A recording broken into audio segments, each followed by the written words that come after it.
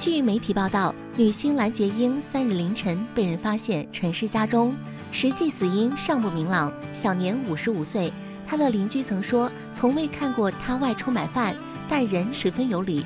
故事消息曝光后，住处附近某茶餐厅老板受访透露，他生前常一个人到餐厅吃饭，并称两天前曾目击他外出，但脚似乎不太好，肿且不良于行，脚明显肿胀。被问到走起路来有无一跛一跛，他仅淡淡表示就是慢，拖着脚走。